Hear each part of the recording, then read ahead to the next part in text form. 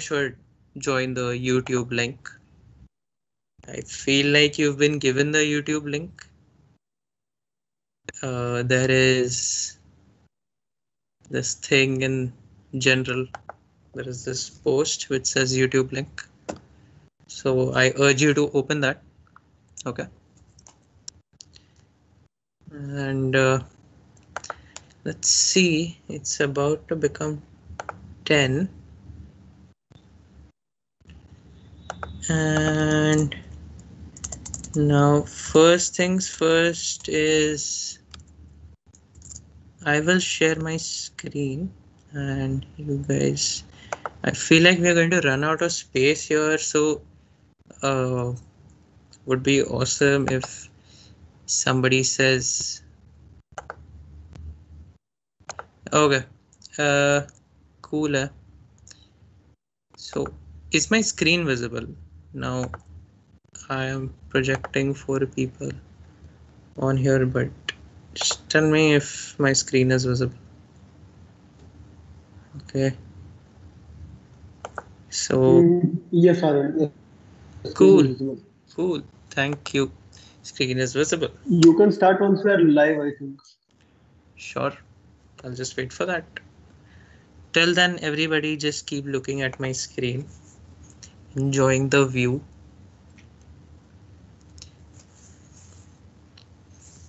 There is one. Okay, we are live. We are live.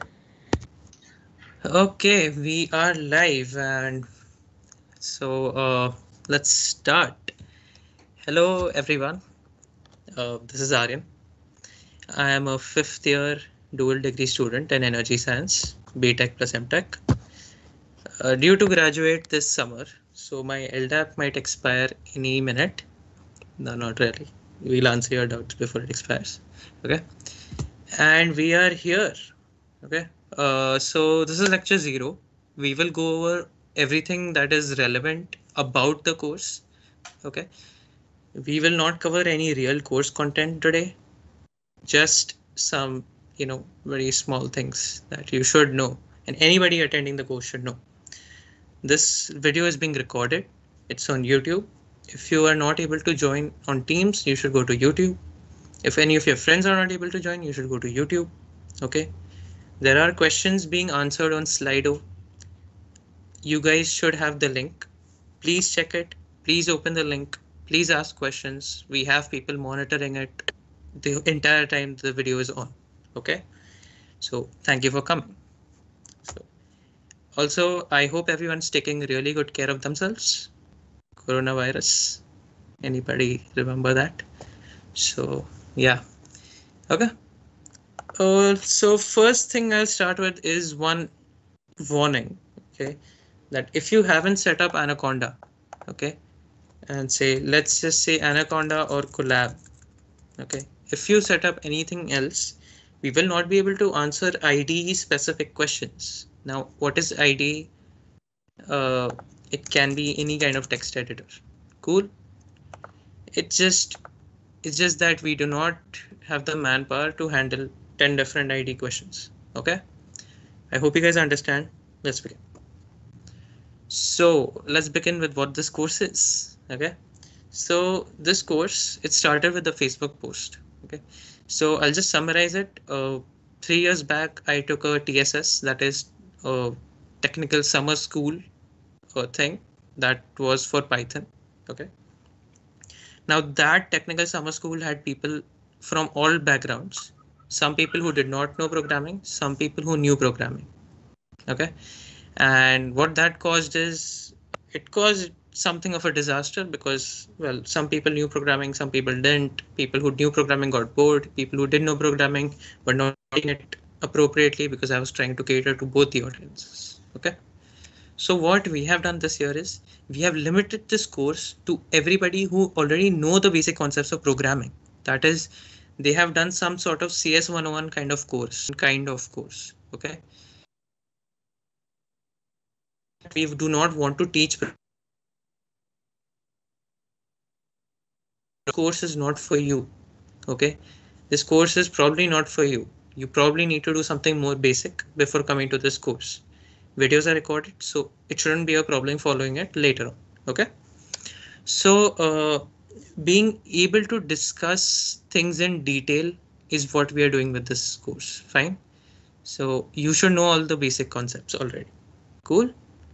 I hope it's clear with everybody. Uh, and obviously Slido is open. You can ask things there. Yeah. Let's go on. So what are we doing here, right? So the first thing is that we want to show people that Python is easy. We know that people get intimidated by Python because, well, it's a new programming language. It's quite different from what they've seen. And frankly, it can be a little tough because for, for beginners to learn because things are spread out all over the internet, right? So we want to show people that it is easy to learn through our course. We will constantly draw parallels between Python and C++ to make learning more intuitive. People who have done C++, they should understand one of the one one of those codes, and then they can start relating things, right? And that will make things very easy. Okay. Then getting people to tinker with libraries. Now, what are libraries? We'll get into that later. But libraries is what truly unleashes the power of Python. Okay, so that's the that's the goal of this course that we want people to be able to unleash the full power of Python. Cool. And then we will try to help people build stuff, you know, make, make Python useful to their particular domain somehow. OK, so we'll be doing that using the final project about which you might have read on the course webpage. If you don't know what the course webpage is, if you don't know what I'm talking about, you should be reading the general channel more because we have posted it on the general channel before. OK, so please read it if you don't know. Cool. Now, who should do this course? Someone who wants to learn Python, obviously, and wants to get familiarized with whatever popular Python libraries are there. By popular, I mean these these Python libraries are used by a lot of people, and we already, uh, since we are all experienced in Python, we know what kind of things are used generally, so we can teach you that, and we know how to build. Like we just want to teach people how to build cool stuff, and that's for rapid prototyping. Okay. I'm just gonna ignore that last one yeah okay this session is being uh, is being held by a few seniors okay you might have read about it so a few seniors we got together understood there was a problem and we are collaborating with WNCC for this session okay? So you should understand whatever you learn here it comes from an author authoritative uh, place okay? So what we're telling you it kind of comes from an authoritative place okay? So you can believe us okay? Now uh, what is python okay the first that sentence is pretty complicated. We'll try to break it down. Short so it's an interpreted object oriented high level general purpose programming language with dynamic sem semantics built by this really smart guy called Guido van Rossum 1980s what a crazy time right? So uh, I'll explain this picture later but yeah this is relevant. It's just not that funny but it's relevant okay so uh, let's talk about these terms right so what does high level mean high level simply means that uh, well it's like writing so you everybody's heard of this thing right like machines speak in zeros and ones, right? So people who know a programming language, say C++ or something, okay? So that is one of the high level languages. Python is one such language, which helps you write code in some sort of, you know, human understandable way. And then Python is, you know, uh, converted to machine code, which is understandable by computers. So that's the idea of a high level language. Interpreted well, uh, you must have heard of the term compilation. Maybe I don't know. Uh, I feel like you would know that. And uh, usually there are two kinds of languages, some compiled and some interpreted. So compiled languages are more like uh, you have a compiler, like it's like a program. Okay. Uh, for C++, there is this thing called GCC or CLang, you don't have to worry about it. Okay, I'm just throwing some terms at you, but you don't have to worry about it.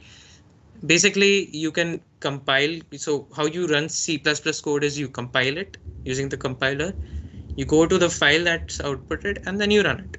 Okay. Well, in Python, uh, there is no such concept of compilation. You directly run the program without compiling it and it is interpreted line by line. OK, so every time it is uh, just going through the lines and then it will give you a runtime error. I hope you understand what a runtime error is. It's an error that is hit when you have, you know, when it's running, when the program is running. That happens in C++ in some cases. In Python, it's almost always the case. It's not almost, it's always the case. OK, so yeah, so that's what interpreted means. Now, object oriented is simply this thing that uh, everything, every variable in Python is an object. OK, and it has properties, it has methods. Object oriented programming. Oops, you must have heard of it. It's a huge concept. We obviously cannot cover it. OK, we'll try to get a bit into it later, but yeah, it's it's something. OK, now uh, then there is this thing called dynamical typing. OK, so Python, what it does is uh, it doesn't have data types. OK, so you usually would expect something like an int here or a float here or something else here in C++. That is, if you're using some other language, you expect something else. But in Python, you don't have to write a data type. You can just say a equal to some number or a equal to some string, right? Or some floating point number, some double number, if you've heard of the term double. Yeah. And there is this thing called a list in Python. I don't want to get into it right now. OK, but this is a list. It's like an array. I know you should know what an array is because C++, right? So it's similar to that kind of thing. It's well, there are a few differences. We are not getting into it right now, but yeah, what you can what you can infer from here is all of these lines they are setting the same variable to us to a different data type each time. OK, so how uh, Python does this it's it's intel intelligent enough. OK, it will keep running the code.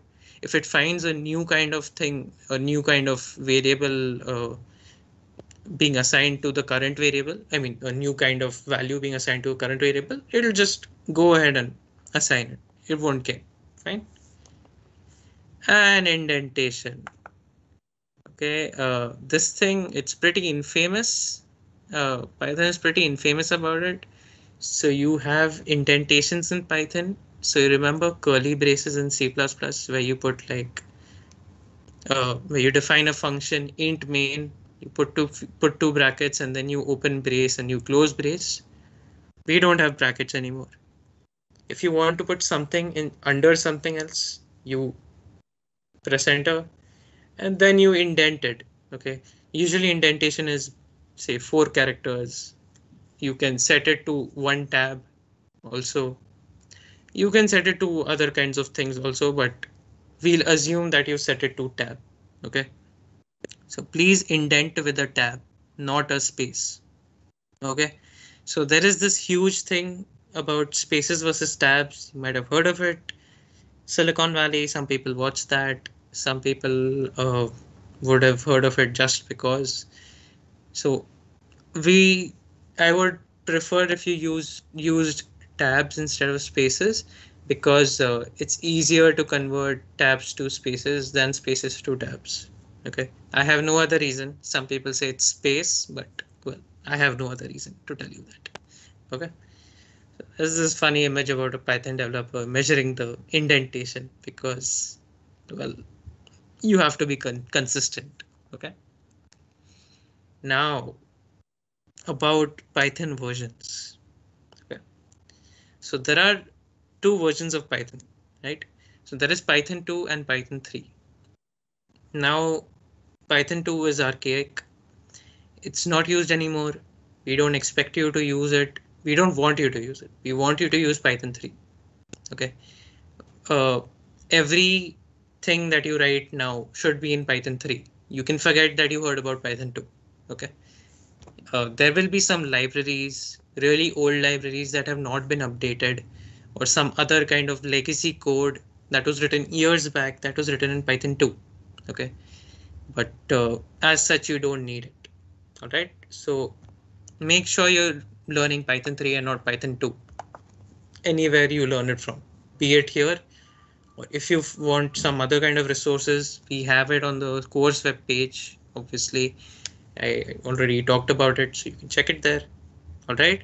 So yeah, I mean, that's what you can do. You always learn Python 3. Be careful. All right. Now, uh, coming to, well, why Python? Okay. It's very easy to pick up the basics especially if you know another language, it's really easy to pick up the basics. You can make things really fast, especially with a lot of libraries. Okay. Then you have a lot of community support. Too many developers are using Python these days, right? And then there are a lot of libraries. I actually kind of talked about it already. So yeah, lots of libraries doing everything you want, basically everything you can think of. Okay. So through this course, you will learn about libraries, by the way. So you don't have to worry about it just yet. All right. Cool. Let's go. So about pros and cons. Uh, the first pro is that low level languages like say C or C++ or something else, you can interface with them very easily uh, using Python. Basically, you can tell Python to go to C code and then come back from there, something like that. Okay, uh, I won't get into it. And it's dynamically typed. So if A was a floating point number, it can be a string, then it can be a list. Okay, so that's not a problem. Now, uh, cons are obviously speed. It is slow, and it's it's quite slow. Uh, yeah, it's it's really slow. That's that's what one two three mean. It's really slow. Okay, so uh, just that don't hold this misconception that you can't use Python because it's slow. It is slow, but uh, for our purpose, things that will happen in say one second will happen in 0.9 seconds if you don't use Python. So just doesn't matter. Cool. Okay. Now questions. Shoot do we have any questions here? Shubham? Or Uh, uh, no, no? We have answered all questions. No pending. okay great. Cool. Thank you for that. And uh, i feel like uh, this is pretty nice. I hope things are going smoothly. If things are not going smoothly you should actually you can post on slido if things are not going smoothly. One of these people will unmute and tell me okay? So please please do that if you're not getting anything.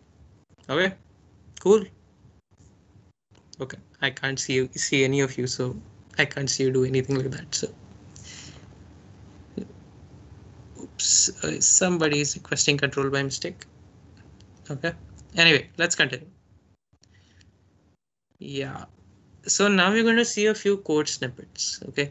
So uh, the idea about putting this here is you're not going to learn anything, nothing huge it's just that you want to get used to Python code. Okay. Only way to get used to it is to see it hundreds of times. Right? Cool. So, uh, so there is something strange going on here, which I am going to ignore. All right. Let's start with the most basic program there is. Okay. Hello world. Everyone's done that at some point in their lives. If you've done a programming language, yeah. So how does it work in C++? You have you have to include the IO stream thing for outputting. You have to use a namespace called std to you know use cout. Okay. Then you have to make a class called int main because all code has to be in main for it to run. All right. And then you put a string message equal to hello world. Then you print it using cout well and good. Okay. Now in Python, you do not need to input anything. Uh, sorry, don't need to import anything. any kind of library for the message. You can simply write a message, write the string here, okay, and then you can print. There is a mistake here that it should include string. I should fix this just in case. Okay. I hope that is fine. Yeah. Oh. So that's how you do it in C++. Sorry about that mistake. Okay. And that's how you do it in Python. It's really simple. Just write message equal to string and then you print the string. Okay. I am going slow because this is the first lecture. I cannot have people dropping out just because it was too fast. Okay. You get used to Python code. We'll get we'll get quicker and quicker and quicker. Okay. Cool. Okay. Let's go to factorials. Basic program. You have to define the function.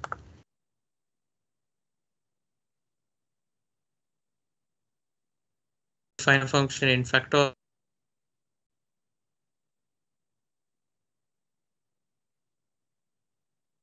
itself multiplied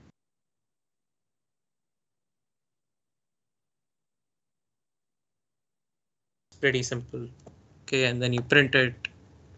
Very plain, very underwhelming. This is C++. Python, also underwhelming. Uh, this remains the same.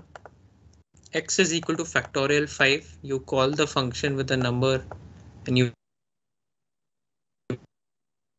defining the function. Slightly different. You have a def factorial. OK, so this line, I'll just talk about it. Have a def. Def is you are defining a function. OK, for any function in Python, you do not have a return type. Void or anything. You put a def. OK, you forget that it has a type. You do not care about it. OK, def space factorial name. That's similar. Open brackets and there is a parameter list. Yeah. So here we have a parameter list which has only one parameter. OK. Here we have a parameter list which has only one parameter, but now we don't need to add a type behind it. It's an int. This we do not add a type, we just put n. OK. It could have been n comma m or n comma j or n comma x if you wanted more, right? And if n is equal to equal to 0 or equal to equal to 1 return 1 uh, and uh, if this statement is not executed it will return n into factorial n minus 1 okay? Now uh, this statement I'll have to talk about it has this thing called OR you don't see it here you see a double line here okay but Python is gracious enough to provide us with this keyword OR. There is also AND, AND and OR.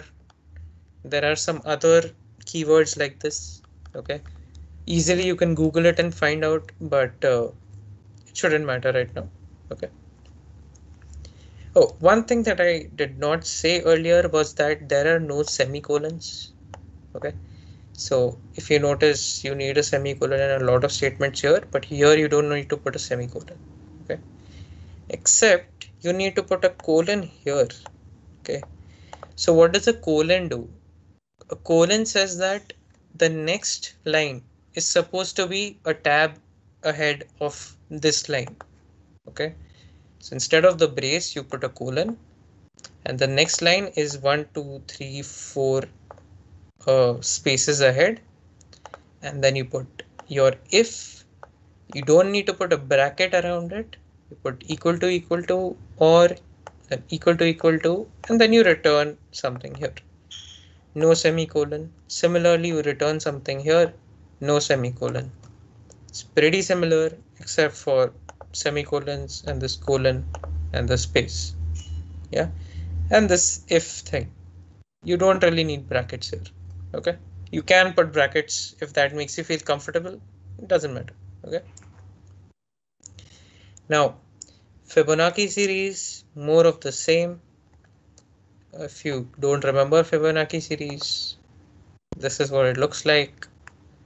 E is equal to B plus C, and then you keep moving that. Okay. So yeah, uh, C++ plus code, really simple. You put n equal to equal to 0, return 0, 1, you term. This is the one-th term. Sorry, this is the second term, third term. That's how it goes. Okay, so zeroth term, first term, and if this is none of these, you have to return sum of. Okay. Another mistake. This should be fib, but it's alright. I can fix it. Just give me a second.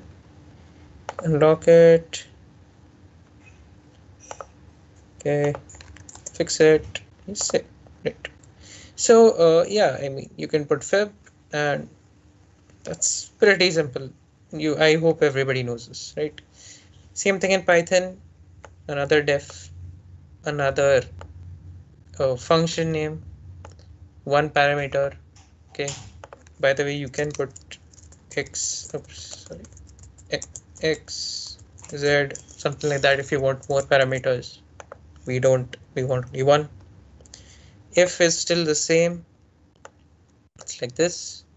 You put a semicolon here and you return zero.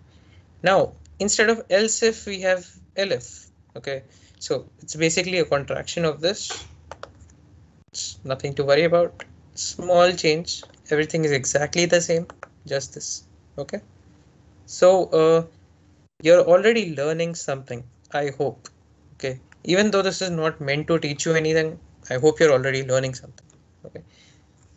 I prefer to you know i prefer it if you guys would be following this code you know like writing this code on your own and you know printing it out so that you get something but it's okay.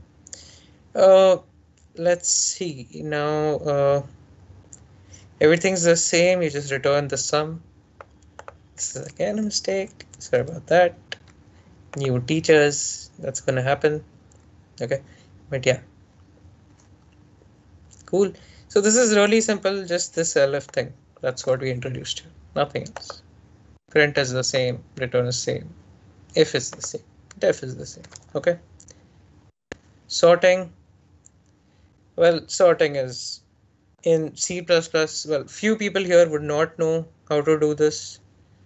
I know why, because you, it's not always that you learn this library in C++ algorithm. But this is how you sort in C++. If you didn't know, welcome to the club of people who know. You define an array. You define an array size by doing size of x by size of x0 okay? Then you sort from x to x plus the length of the array and then you print it and then you return zero because that's the convention okay? Python well it's easier in the sense that now we have something called a list. We'll talk about that later okay? So a list can be put into something called this function which is called the sorted function okay so this function is giving me the sorted version of x. All right. I'm saying, please give me the sorted version of x. This gives me a sorted version of x in this variable. And you print it. OK. Now some uh, major differences. It's a list. It's something new. It's not defined like this. OK. We didn't have to then uh, obviously no semicolon, whatever sorted function is different. Sort does it in place. I don't know if you remember what in place means but basically it does it within the array. Sorted is not doing it within the array itself okay?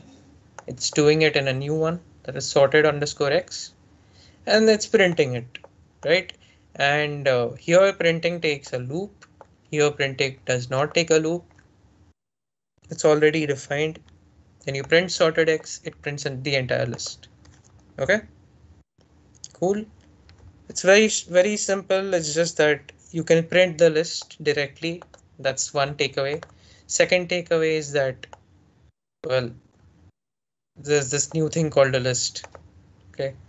Third takeaway is that you can use sorted. And it does not sort in place, it sorts in a new variable. Cool.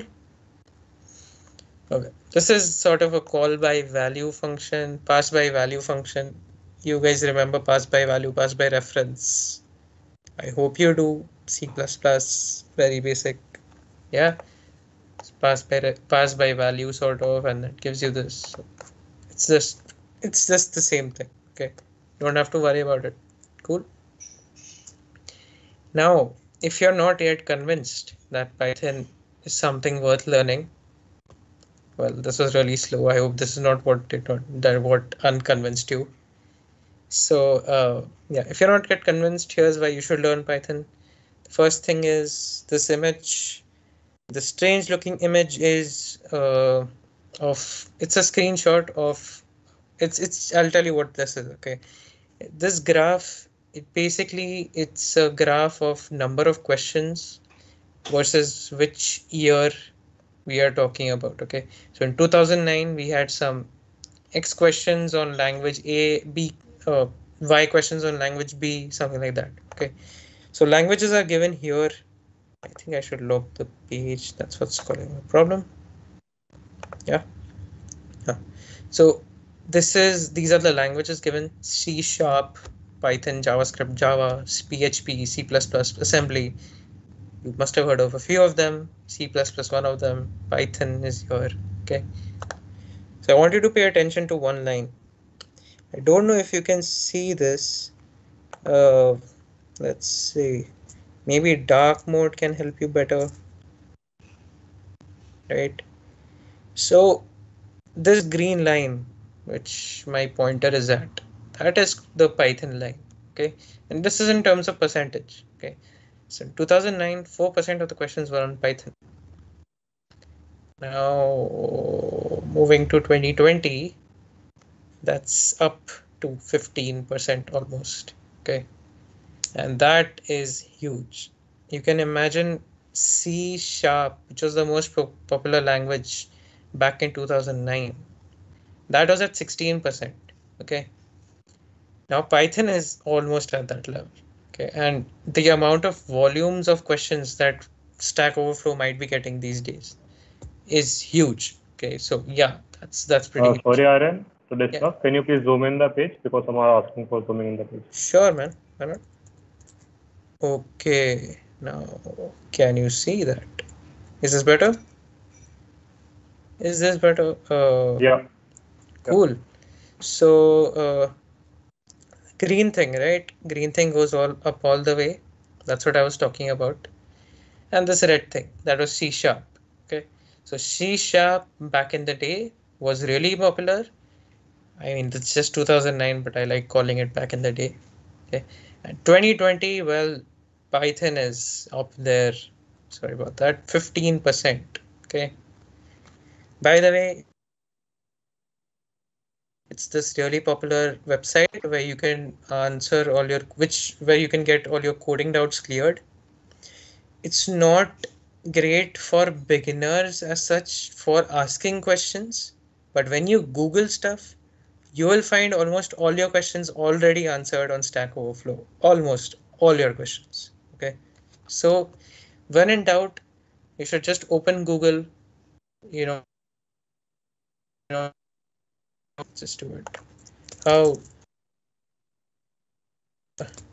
to get all attributes of an object in python? First link. This was so random. I did not even think about this before this session. Okay. Sorry. Before this minute. And the first link is stack overflow. Okay. Open that. You see it. People upvote questions and downvote questions too on Stack Overflow. So beginner questions are usually downvoted like anything. Okay, so you should first Google instead of putting it on Stack Overflow. Okay, yeah. Then there's one person who's answering. Nice, nice lad here, and then there are some uh, people commenting on why that was wrong. okay, so and then you can see that this is Python 2.6. Some per, some person wanted to ask questions on Python 2.6. Okay, don't worry about Python 2. Worry about Python 3, please. Okay, but yeah, this is something that you will be doing constantly in your coding journey. Okay, Google, please Google. You can get stuff here. Everything is here. I mean, there are. I have come across notes that are made out of Stack Overflow. Okay, so yeah you should do this. Back to our lecture.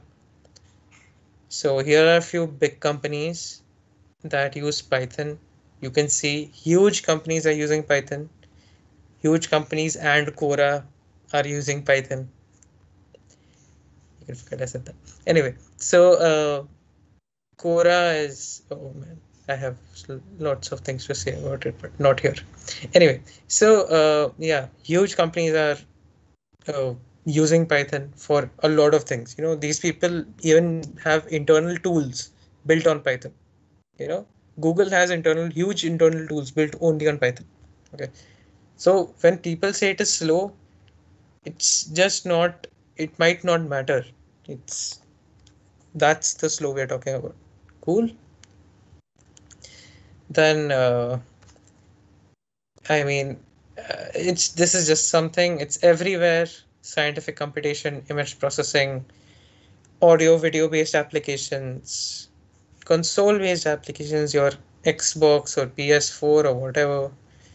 Then desktop gui applications software web apps business applications everything man. Enterprise applications 3d cad i mean you can do anything in python okay only thing is that you have to learn the skill called googling.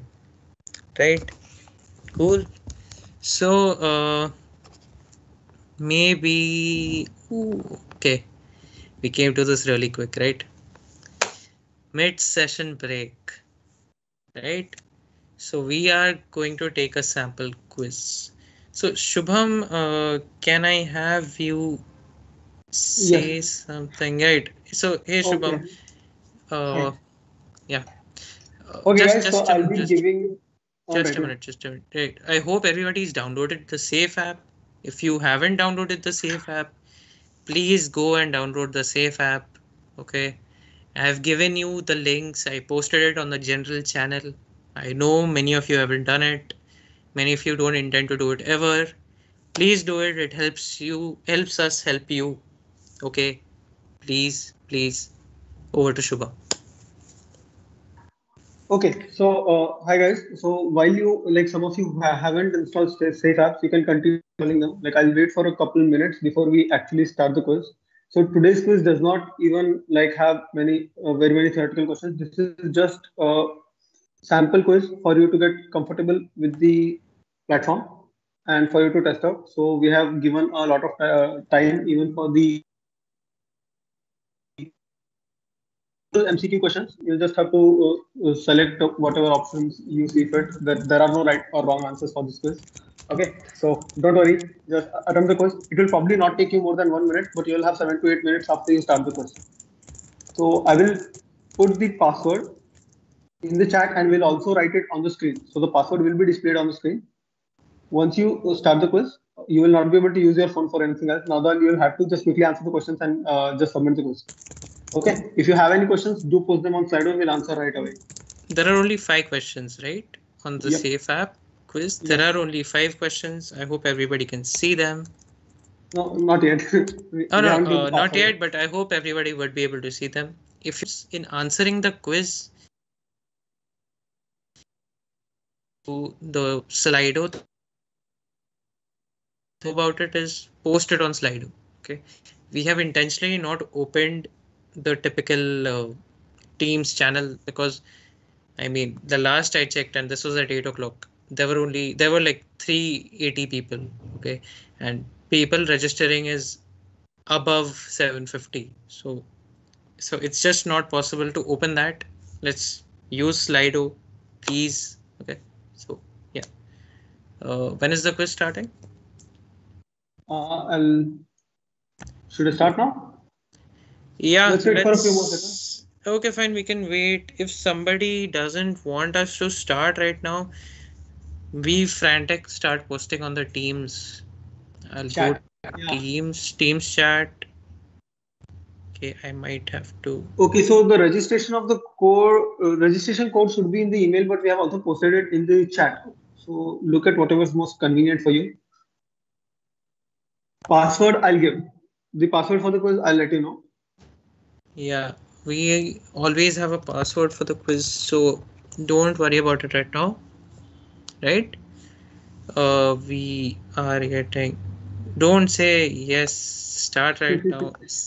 Say that I am not ready. If you're not ready, you tell us. Okay. If you're ready, that's well and good. So there is no need to mark any attendance on safe. The submission of your quiz will count towards your attendance. No attendance yet. I hope you got that. Hope people are asking Slido questions too. I'll just uh, I'll uh, this down. Okay. Uh, let's see. Okay.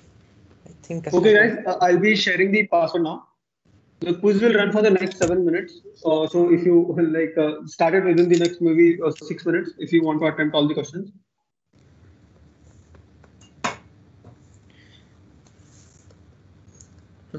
I'll wait. Uh, can you scroll down a bit, Aryan? Passcode is on the screen. Oh.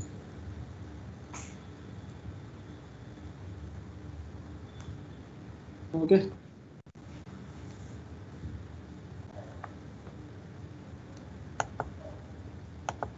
What's the passcode? This is the passcode. AGL. This this is the passcode. AGLWX. This is the name of the quiz. Sorry for the confusion.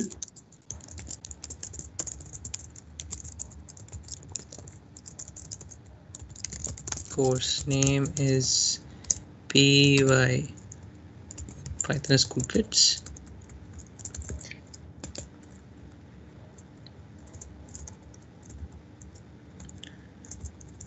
Okay, maybe we can make this orange or something. Yeah.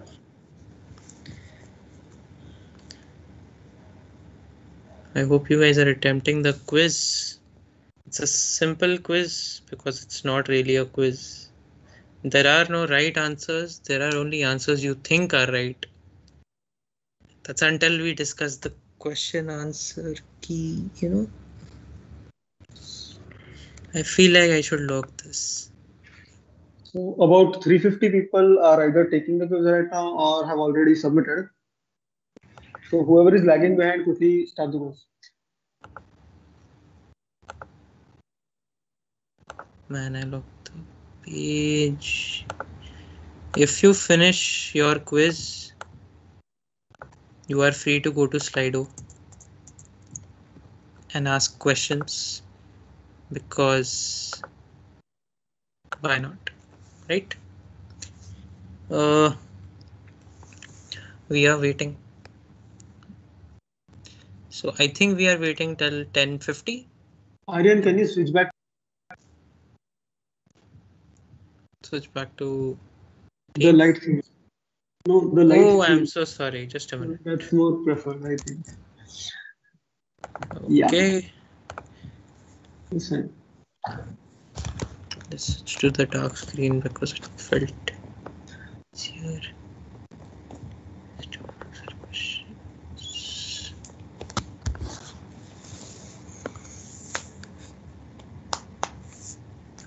Just have a quick peek at how many people are in the meeting. Okay.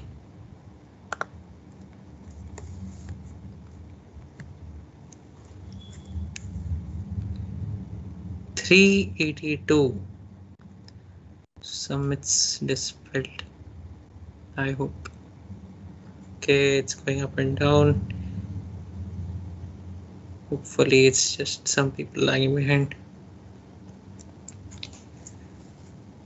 I'll wait.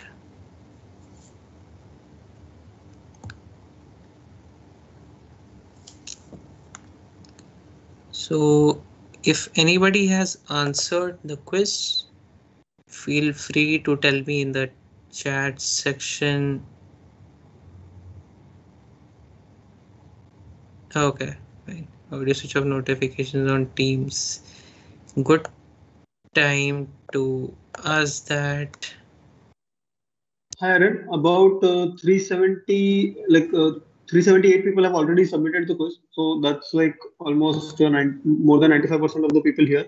So we Holy can proceed slowly, and the rest for lagging band can quickly complete that quiz. Okay, so I'll just start at 20 to 45. How about that? Yeah, All right. Yeah. 20 to 45, less than a minute remaining.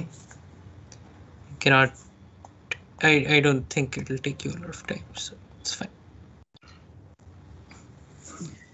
20 to 44 still. For still people who are downloading the app, there is a lot of time left. There are five minutes, 30 seconds for you to open and submit the quiz. Hmm, It's not a real quiz, but the thing is that you should Mhm. get accustomed to the safe app. Okay, 20 to 45. Uh, maybe we can take a few Slido questions. Are there any Slido questions, Dikshant? Maybe. Are you monitoring Slido? Anybody who's monitoring Slido? Uh, yeah, like uh, no need to like uh, have are working over there, so there's no such big question over there. okay. can- So either people are uh, really understanding everything, or uh, I mean, or they're not understanding anything. And I like to believe the first one. So if you're not understanding anything, maybe you can tell us in Slido that I'm not understanding anything. Yeah, I mean, uh, I mean, uh, I just it's just strange that we don't have any questions. Okay. By the way, uh, lecture notes will be available to you after the session. Sorry, we can't do it right now because there are some things we would like to add, like you know, quiz should be a surprise. So yeah. Okay. 46. I am hoping that everybody has done stuff. If you haven't, please catch up. Please do this. Okay. I will continue slowly, but uh, don't worry. It's not a lot. It's just logistics. You are getting the notes later on. So you can chill. Okay. Let's go. Uh, now, huge stuff. Course curriculum. These are expandable. I'm not going to expand them right now. We are going to do these many lectures. Okay. So course curriculum is uh, we are starting with basics of Python 1, then basics of Python 2, something about classes, very little.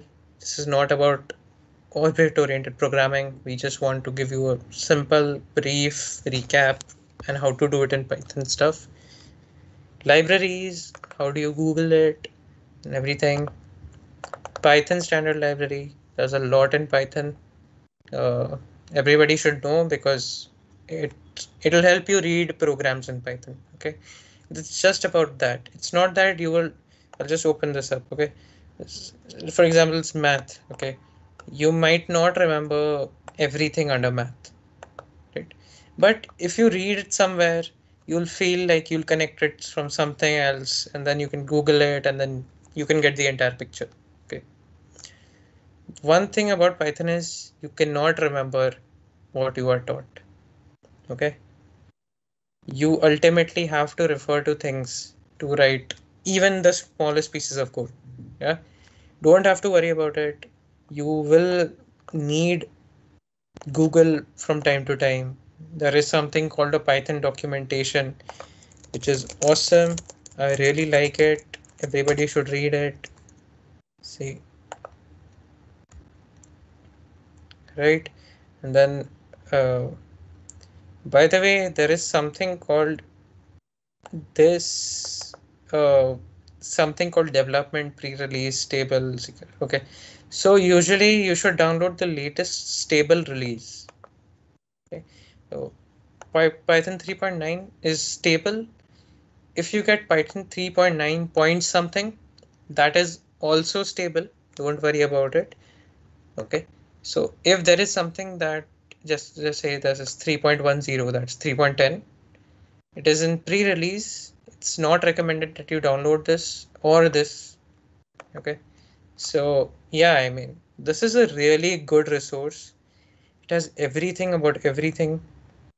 I want to show you something really small. Maybe come here python standard library. We'll talk about this. But let's just say built-in types right so let's go to numeric types. You know numeric types. So this is a web page so it scrolls to numeric types when you click on it. And yeah i mean you get a whole list of things. Their explanations. It's really easy you know. And if there is something more to this function you can just click on this find the whole documentation of abs returns the absolute value and whatever whatever whatever whatever whatever something's written I'm not going to explain it. It's just a demo, just showing you things. Okay. So these are really, really important. You know, documentation is what makes things easier to read. This is what the, this is the first tutorial for anything, any language, any software. It's the documentation. Okay. Every other tutorial is just a derivative of this tutorial. Cool. Anyway, uh, we were on course curriculum, Python standard library, right? So uh, this plus this, this is first week, this plus this, this is second week, this plus this third week, this plus this fourth week. Okay. Now uh, about the freshers. Okay. What we believe is up until this point, I think you should follow the course, right? But later on, around this time, you're going to get clashes with your endsems you're not going to be able to do the project okay? So these things will it will impact your learning. It's it's not possible to get a certificate without doing the project okay? So i urge you to stick for at least these many classes. And then maybe you can proceed to another resource. For example we have this thing called the technical summer school okay? I complained about it in the very beginning. It's come a long way since then. It's really good now okay? So when whenever you have your summers i'm talking about freshers okay? Whenever you have your summers uh, b tech freshers i'm sorry. Uh, so whenever you have your summers you're going to have this uh, uh, technical summer school running by wncc okay it will have some things like machine learning it might have it not have depends i'm not sure. I don't remember frankly. There are going to be a few things there are going to be some python for some applications okay? So it is best that you attend these classes and then you can you know stay out of the course for the rest of the time. Cool? I'm not telling you not to use safe app just because you're not just because attendance is not important for you it is still important for you. If you don't understand something in one of the one of the lectures for example i didn't understand tuples you ask on slido. You we will have questions on safe app which tell us if you understood or not. So please please use safe app. Okay? Cool? I think this is something people wanted to clear but yeah. Uh, that's course curriculum. Now course schedule four weeks where we have two lectures plus one tutorial. This is every week. Okay. Lectures Monday and Thursday at 10 p.m. Tutorials Saturday at 10 p.m. This is starting from lecture one. Lecture zero, which is this one, obviously Saturday 10 p.m. We did this early before the actual lectures because we want you guys to figure out for yourselves if this course is for you or how much of this course is for you. Okay. Obviously you're getting this web page and every other web page in the future. Don't worry if you're not able to attend this. Recordings are there. This thing is there. Everything is there. Okay. Don't worry. If you have questions you can ask us. Uh, you can ask wncc right? This is what they want to do. They will want you to come to them. They want you to ask them questions. They want to clear clarify these for you. Okay obviously before asking questions Google is your friend always. Okay, you can ask this person something a lot, not just something a lot. I I get my doubts cleared by Google, so you can trust it. Well, most of it. Okay. Now the tutorial lecture schedule. Today's lecture zero. And so on and so on. Monday, Tuesday, we've just put the dates for your convenience. We've put some timings. This is indicative. If it usually goes past this timing because of doubts, problems, something. Okay. For example, today it might go slightly above or it might not. I'm not sure. Let's see. Okay. But yeah, I mean, we've put indicative timings. Okay. Oh, by the way, tutorials, right? So tutorials, uh, there is something that I wanted to tell you about it. Uh, I'm not sure if it's here or it's there later, but tutorials are not like your typical tutorials. These are more like guided projects. These will be very small projects that you should do in order to gain a better understanding of what was covered in this week. Okay, the, these will not be your typical tutorials.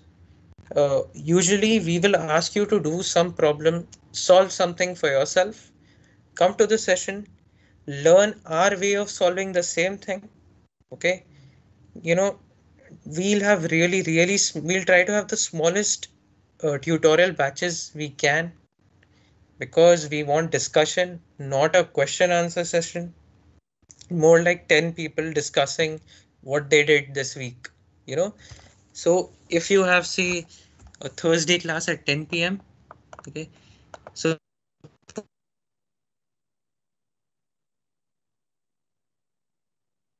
to attempt the tutor. Okay, it's just one. Usually, it's just one question of building something. Okay only way to start building something is being forced to build something. Okay so we're going to force to force you to build something. If you're not able to do it obviously you can come to the tutorial and learn how to do it.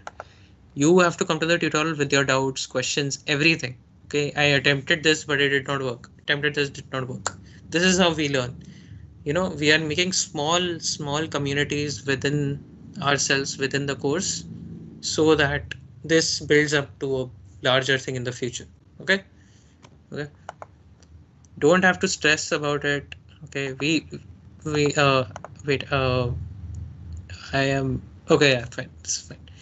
Uh i think i already yeah we already talked about all of this whatever the course curriculum is.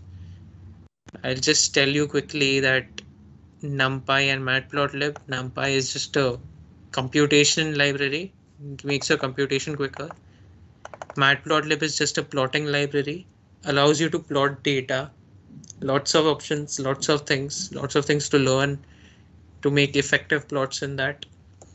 Pandas plus Seaborn. Seaborn is a another kind of plotting library. Only thing it it's becoming popular now because Seaborn looks pretty great.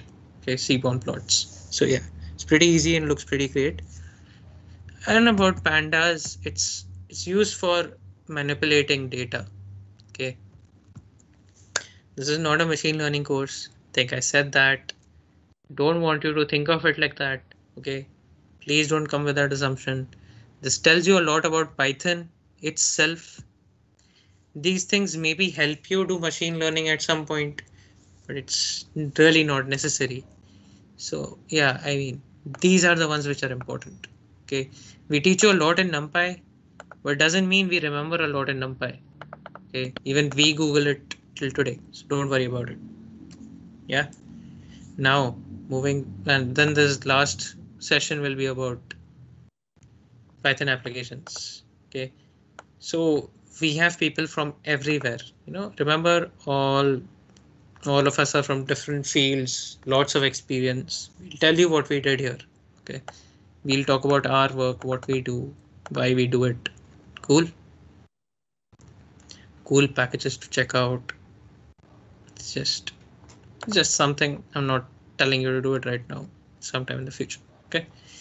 Hope this is clear. Course logistics, instruction is via lectures. This is one of the lectures. We will we constantly answering your doubts on Slido. Probably uh, we'll figure it out as the course progresses. But right now, Safe App Slido is what we're using for questions we have recordings. This this lecture is being recorded as and when we, I'm doing it. We have discussions which are in the tutorials and otherwise too. Okay, Don't worry about it. Usually you receive the Teams code on registration. Yeah. Uh, last few people, we just uh, pulled you into the team because uh, we were not sure if you would be able to check your mail and everything like that.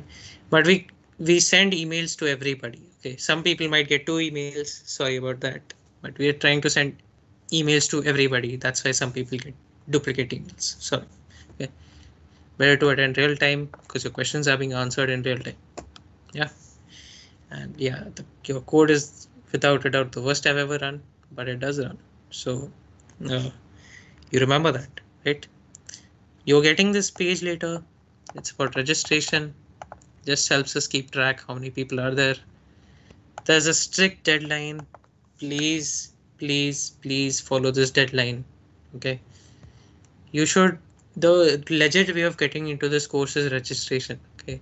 We can't certify you without registration. So if you just come into the team, right, you don't register, nothing is being tracked for you. Okay.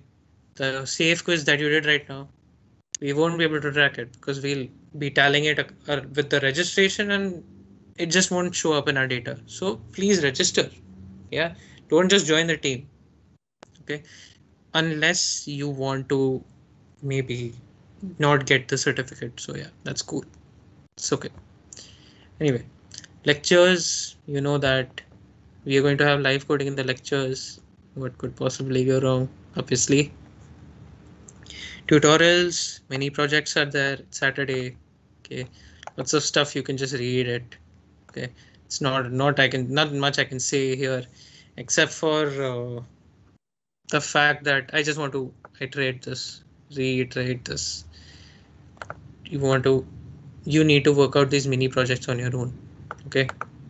Okay. Uh, I hope this is fine. Uh, if you have some suggestions for us, we might have a suggestions form. Okay. Sometime later in the course because we believe that feedback during the course is more important than feedback after the course. Cool. So yeah, and then tutorial batches will be out by Tuesday. Saturday is the tutorial. Don't have to worry about it. Tuesday, because we feel that some people will drop out of the course because they didn't realize that we needed programming knowledge beforehand. Some people will drop out because it's not convenient for them. You know, things happen. It's okay. Some people have more like some people just don't want to continue. It's fine. You have we have the recordings up and available You can follow them. Don't worry about it. But yeah, this is about it. Project, right? So this is an important part of your curriculum. Okay, the last two weeks, it's simply dedicated to your project. Okay, it's a six-week course. Uh, we were really not sure whether to make it five or six, but we feel that projects have to be worked in two weeks because in one week people would have some inconveniences, right? User Saturday Sundays because those those of you are not freshers in BTech, you guys have your summer. Take out time, learn Python, ask us doubts. We are putting it into batches for a good reason so that you can keep asking your doubts so that it's more informal. You know, we'll try to put a gap between the tutorial person who's taking the tutorial and people who are attending the tutorial We'll make it really small so that you know it's like just your seniors so it becomes more informal that way we're putting all these efforts for you we expect that you reciprocate by putting in effort into the course. Okay? Yeah? Certification 60% attendance plus final project. Okay? Questions? This point you might have a few questions that you want addressed. Uh, Shubham or Dikshant, either of you. Maybe Dikshant because it's easier for you, probably. Anyway, Shubham. We, yeah, so uh, most of the questions were about uh, dealing with installation or what's going forward in the course. So all of those have been answered. Okay, fine. Yeah, about installation, I'll still address it. If some some people were not looking at the Slido, please install Anaconda. I mean, we are here, but I'll just like go back up uh, here and some people, you. yeah, continue. Yeah, so if you haven't set up Anaconda or Colab, okay, we can debug Python code for you. But we cannot debug your problems with the IDE. Okay, so if you have say VS Code or something else, we cannot teach you how to run the program in that. You have to look it up yourself on Google. Why? Because there are too many IDEs. It takes up a lot of time on our part to answer these questions. Simply not worth it. We want to unite everybody. Uh, point of Anaconda is the setup is really easy. It's quick. Well, it's not about quick, but it's easy. Everything you need for the course comes in Anaconda. Same thing for Colab. Only thing dealing with files in Colab is a bit tricky. I suggest everybody does Anaconda. I personally don't really like Anaconda because uh, I think it's there are a lot of packages that I don't need. But uh, for beginners, Anaconda is beautiful. Okay, it's beautiful, really. I mean, I don't say it about a lot of things. So yeah, Colab it is similar. Only problem being that Colab there can be some issues like the Colab instances they keep disconnecting. Okay, if you don't if you're if you keep it idle for too long you'll have to run the notebook again so basically both of these setups they're going to give you something called a jupyter notebook okay now setup we have provided to, provided it to you on the course web page uh, please look it up go to the course web page scroll all the way down there is setup resources click on it you you'll find instructions how to install or set up anything okay We'll try to talk about Colab. Yeah. Uh, just a clarification. So, uh, yeah. Colab and uh, Jupyter are types of IPython notebooks. So Jupyter is a type of IPython notebook, and so is Colab.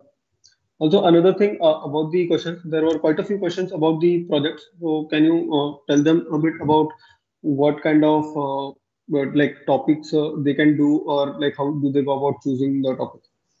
Okay, so a really good idea. Uh, so those are some really good questions. First of all, so really good idea about projects. Well, uh, we are teaching you libraries. Okay, so uh, people who have some domain, say I have read a few people's motivations.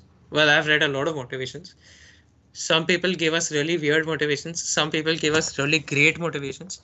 Some people said that they want to uh, analyze data for their PhD thesis, right?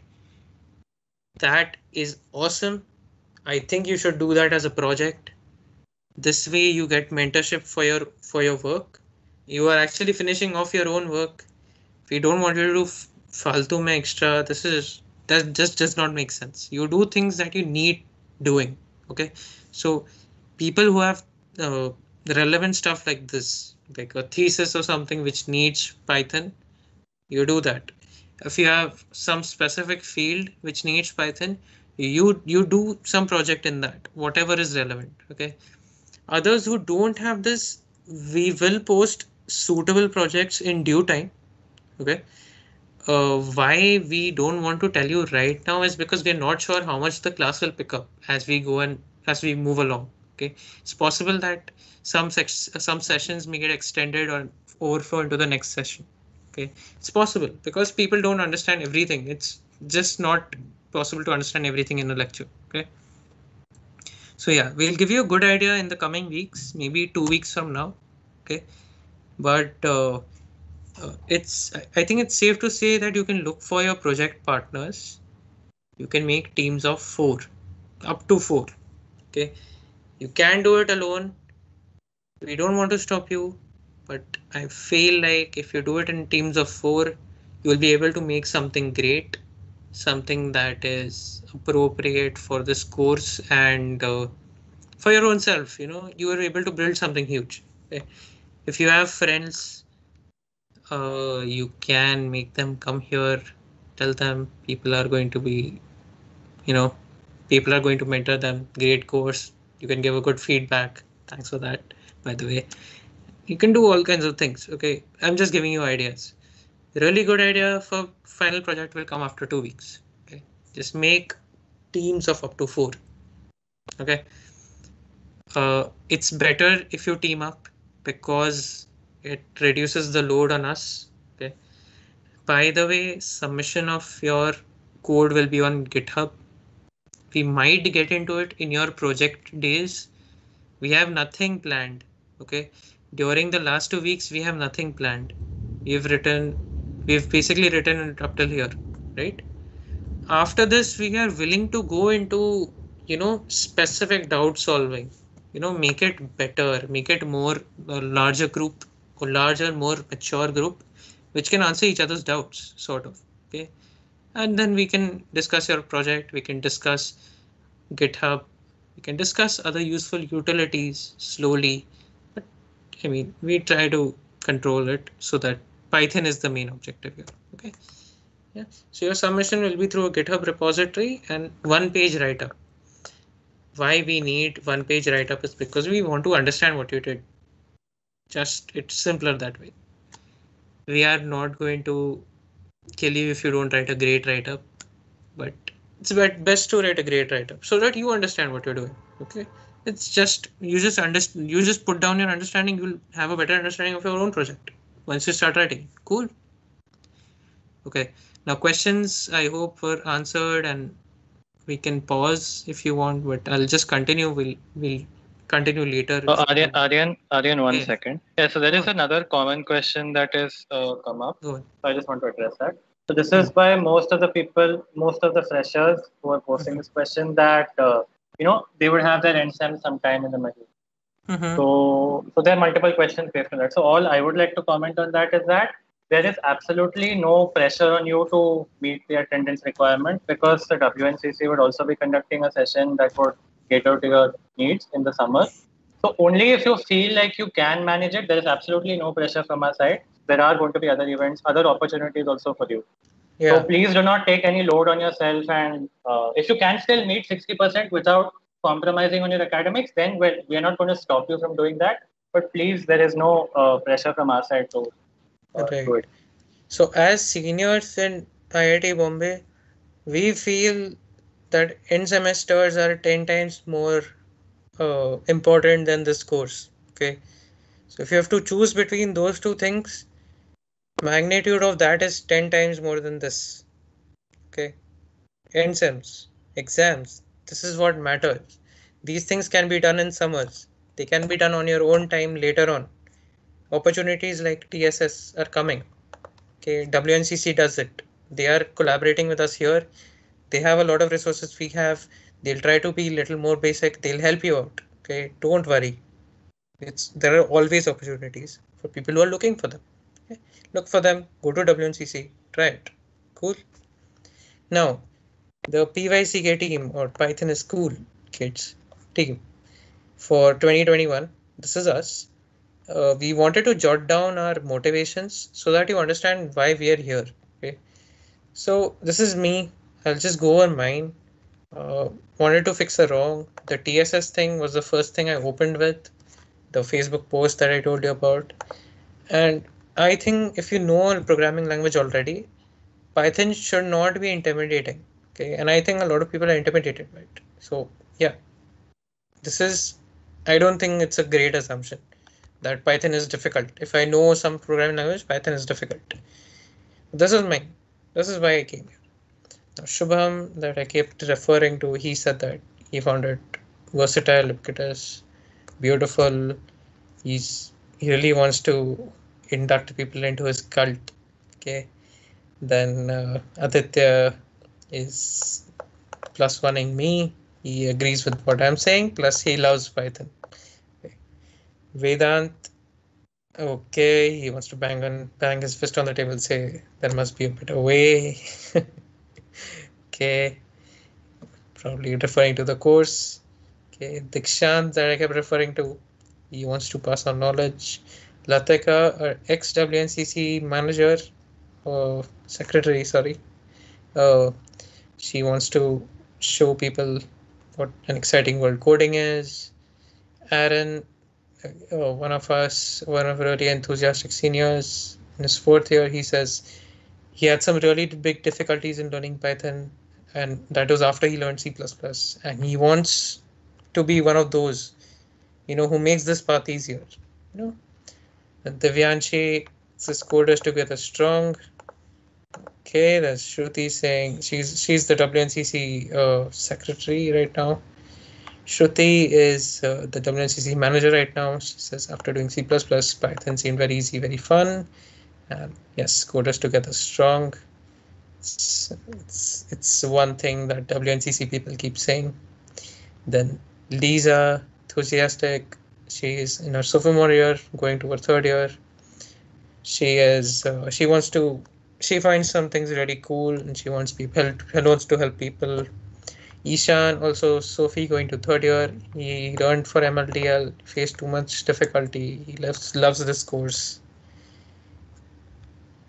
Tejal, she started learning Python because she wanted to do OpenCV. OpenCV is an image processing uh, library. So she wanted to do that, and now it's her language of choice. She's also sophomore going to third year. Shubham says this really awesome thing about saps, those friends which you call sap, and then you know it's the only snake that can help you. So good one, Shubham. Harshit was rather conservative about his motivation till the very end. so he said, I'm motivated, but he'll just take him a while to say it out loud. Rishabh, because Python is cool. Parth says, because he thinks real life problems can be solved. Tushar, easiest language, MLDL dev, he does everything. Abhishek says enthusiast is enthusiastic is enthusiastic about coding, wants to keep the coding culture alive. Okay, so the theme here that you notice is everybody face some sort of difficulty. Okay, you know, I mean, all of these people they face some sort of difficulty, and we want to make it easier, right? We're here to do that. We know typical courses don't make it easier because they no, do not offer feedback, right? So we want you to know that we're here to listen to you. If you don't tell us what's going on, you're not going to find it out by any means. Okay, it keep floating forms. We'll keep asking you questions. We'll keep telling you clear it, clear it out. Okay, because it matters. Right? It will be incorporated into the course as much as it can. Okay. By the way, a few people that I didn't talk about this guy uh, Latika going to fourth year. This guy is going to fourth year. This guy is going to uh, uh, Vedant is going to uh, graduate. He's in his fourth year right now. He's about to graduate. The th- third year, he's the DAMCO of MEC. He's about to go to his fourth year. Shubham to Shubham is also about to go to his fourth year. He was the ex-Secy for uh, ERC, Electronics and Robotics Club. Finally, me. I'm a fifth year. I'm about to graduate very soon. It's the summer. Uh, not many things to look forward to. So yeah, a lot of us are like really old. I guess a lot of us are really young, really old, both both ways. But yeah, that's that. Okay, so we are here. We are motivated. We want you to understand coding, understand Python. Please ask us questions. Okay, finally some references and time for a bit of live coding. Wait, uh, before we go to live coding, any doubts?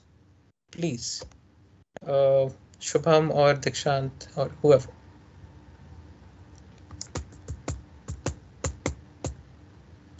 Um, Currently, there is no doubt. Oh, no major doubts. This is going really well. I have to say, you guys are putting up with a lot of slow stuff because because it's all me. I'm so sorry.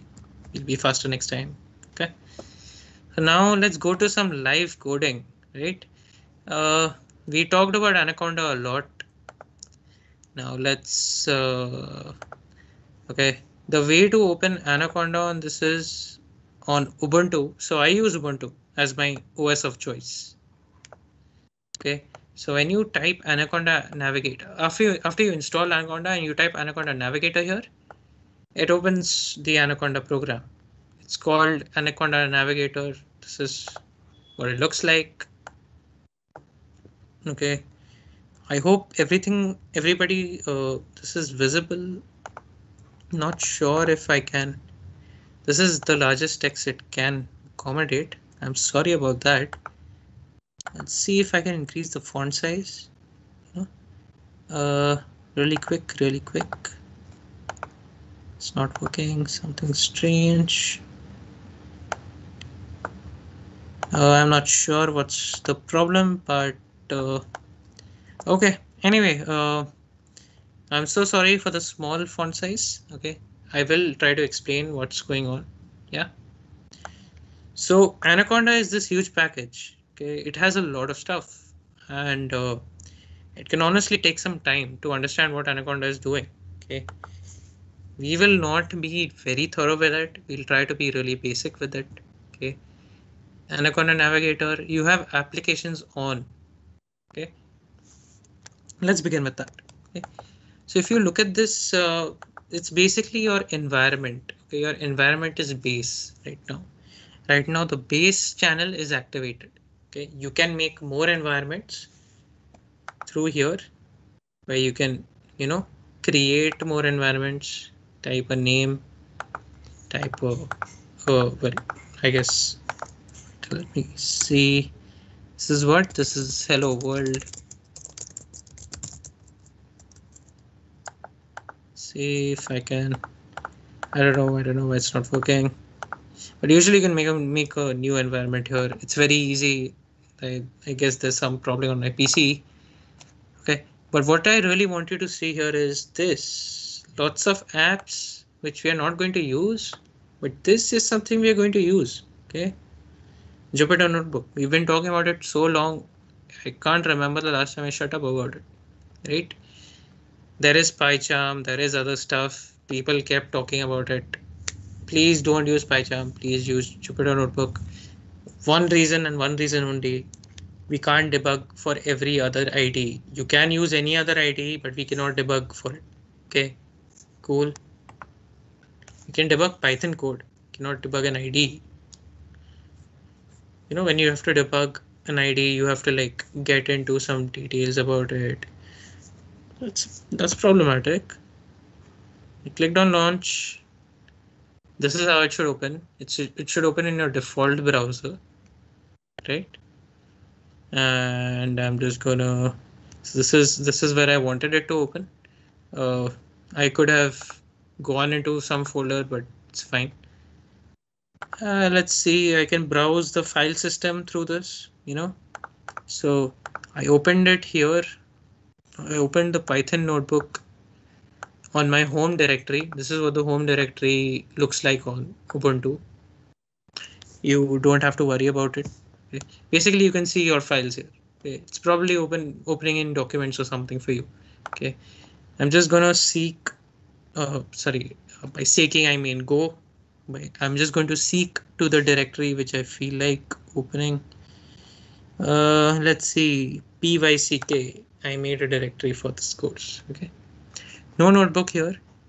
First thing, new notebook. Okay, there are other things, but we make a notebook. Python 3, I clicked on it. Should open a new tab. We'll wait for it, wait for it. Okay, so this is the Jupyter notebook.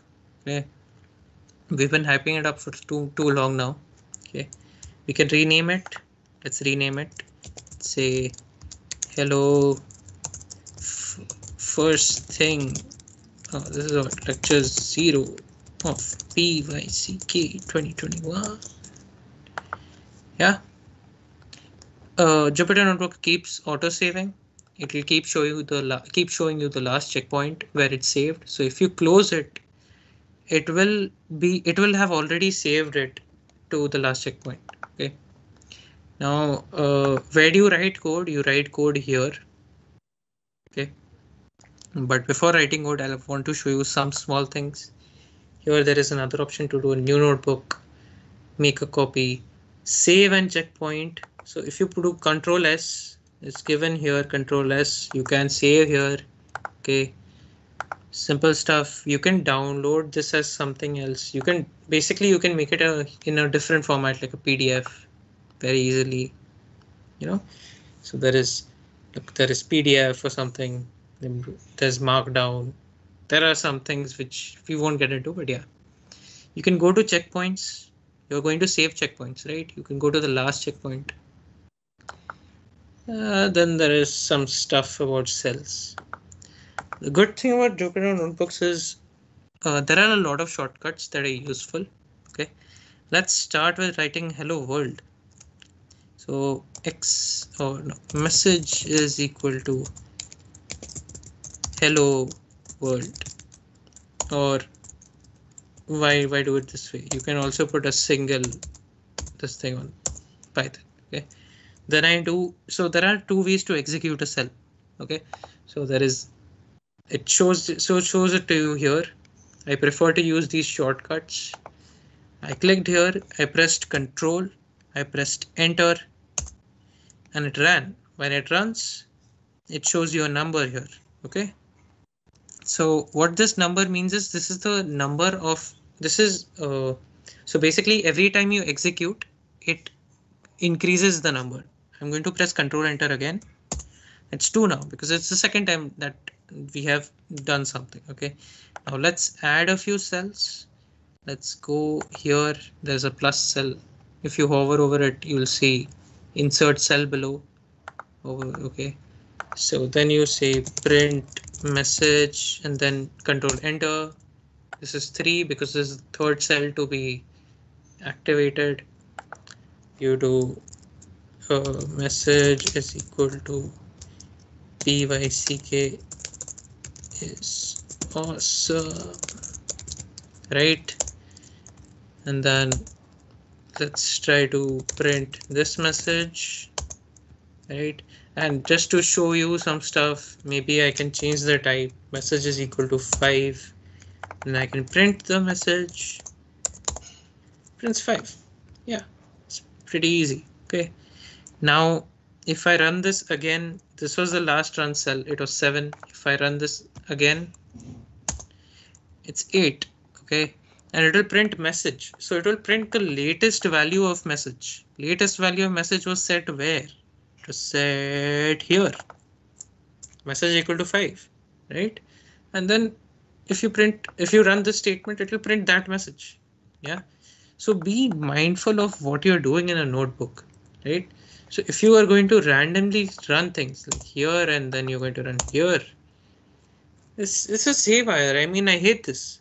I absolutely hate this. This is not how things are supposed to work. Yeah, you don't want it to work that way. Right. And if this thing gets really messy, you can just go to kernel and you can say restart and clear output. Restart and clear output. All of this goes to nothing. There are no executions in the system at this point. Then you can run it pretty simply. OK. So now uh, I told you control enter the first one here, I told you control enter. Maybe I can, yeah. There is shift enter. Okay. So if you click on this, you press shift enter. It runs it and goes automatically to the next one.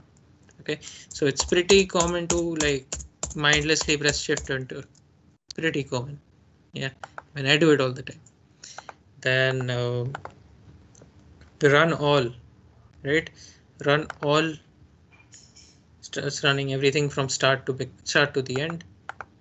Since these are empty, it will not run anything here. But yeah, these are these will also be run if you write something in this some code. Then there is restart and run all.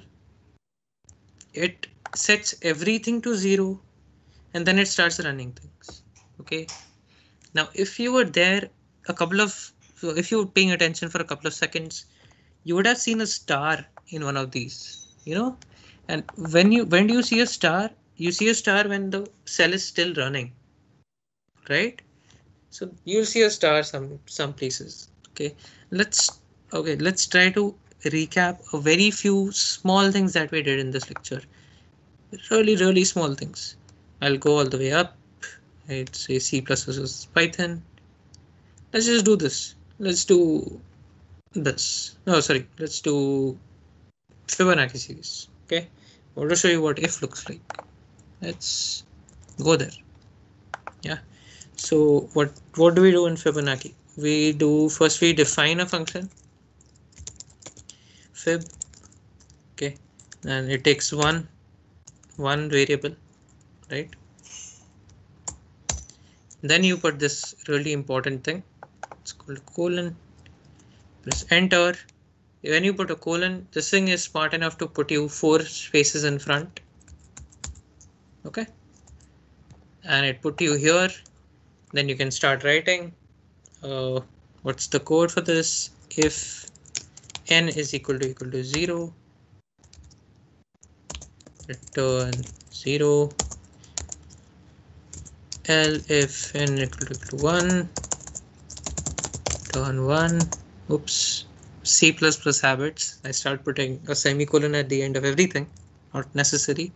You shouldn't put it actually. It's not just not necessary. It's shouldn't be there and uh, else you return.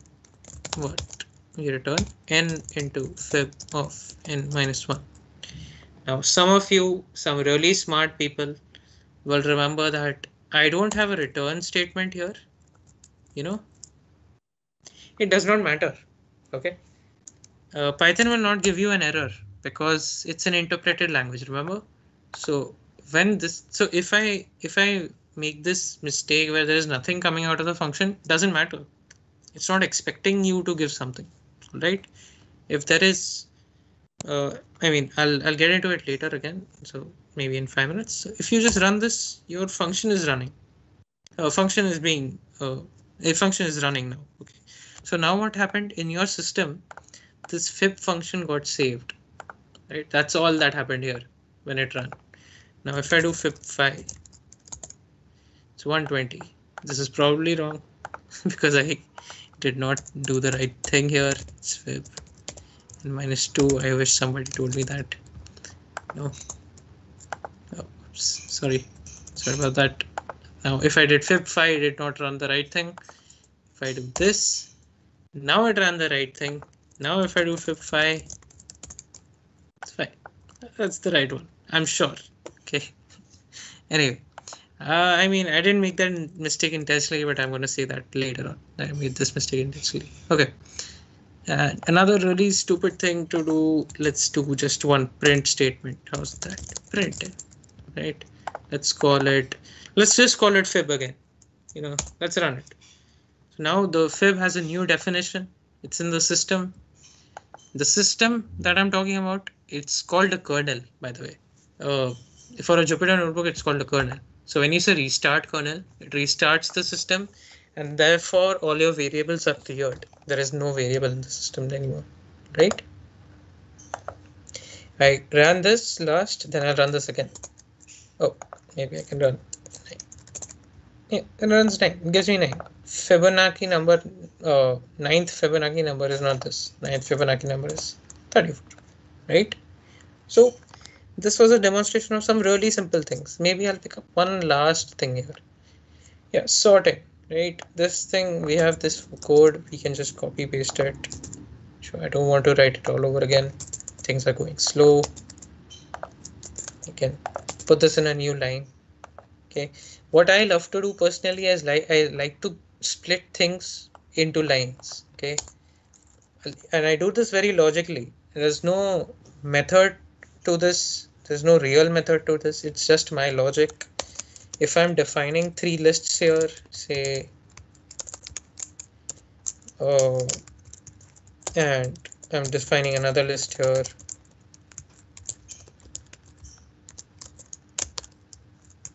Okay? I run this oops, I forgot to put a comma here. It gave me an invalid syntax because it ran it all the way there. And so, oh man, it's nothing that.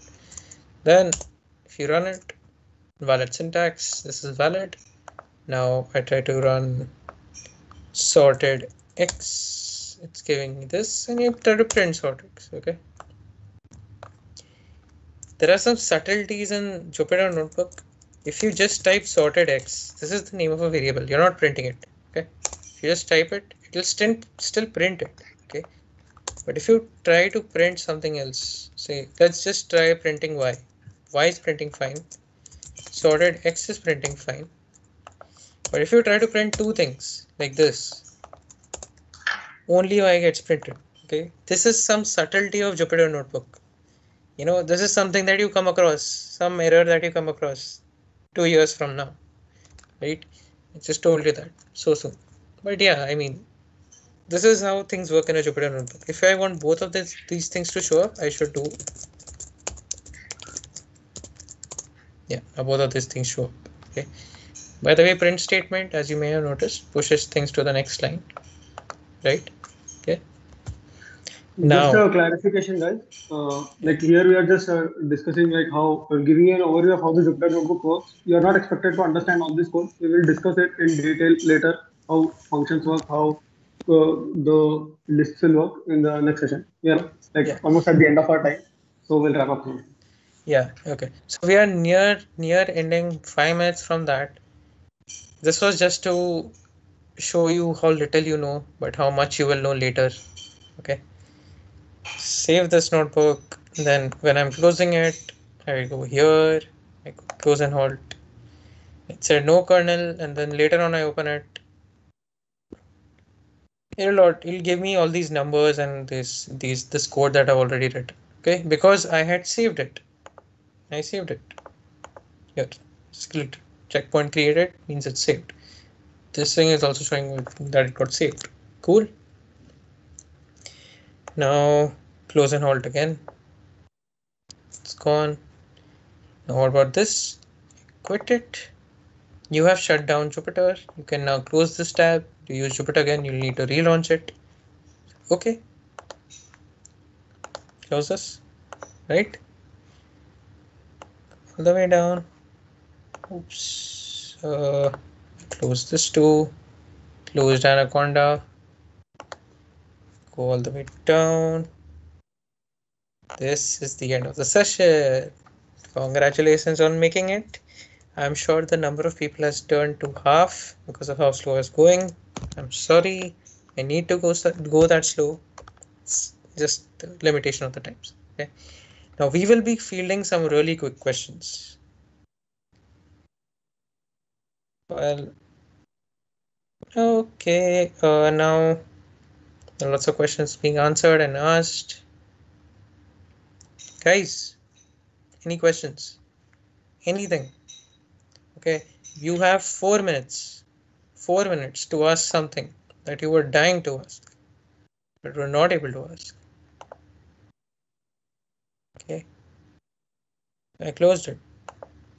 I'm not monitoring it. Waiting for you to ask me something. You know, as a bonus, uh, okay, if somebody has a question, you can raise your hand. I'll pick one person, just one person, tell them to speak. Okay, just because, you know. Does anybody have a question? You can raise your hand. I hope raising your hand puts you all the just just just to clarify, please don't spam chat. If you want to ask a question, please raise your hand. We'll try to cover a few of them right teams etiquette we like to call it right we are here if you